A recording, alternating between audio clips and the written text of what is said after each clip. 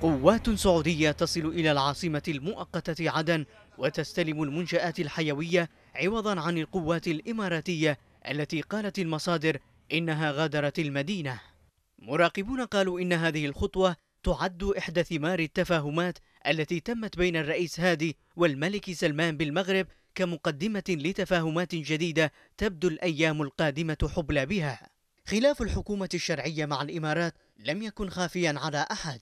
خصوصا بعد محاولة القوات الإماراتية تغييب حضور السلطة الشرعية مقابل تشكيلات عسكرية وسياسية موالية لها بالإضافة إلى ممارسة القوات الإماراتية الكثير من التجاوزات الحقوقية وقضايا السجون السرية والتعذيب وفق تقارير محلية ودولية. مصادر إعلامية قالت إن القوات العسكرية التي قدمت من المملكة يشكل معظم قوامها جنود يمنيون ما دفع البعض للقول بأن هذه الخطوة تعد بمثابة إجراء أولي في طريق تسليم عدن لسلطة الرئيس هادي.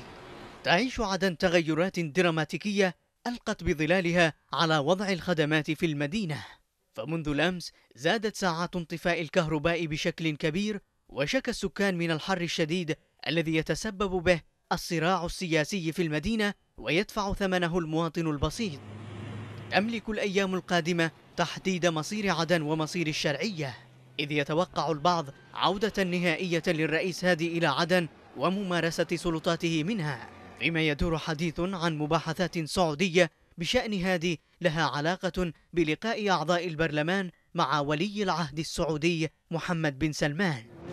عدن عقدة المشكلة والحل وهي الترمومتر المستقبلي لما يخطط له الخليجيون وما أسفرت عنه قمة هادي سلمان في مدينة طنجة المغربية.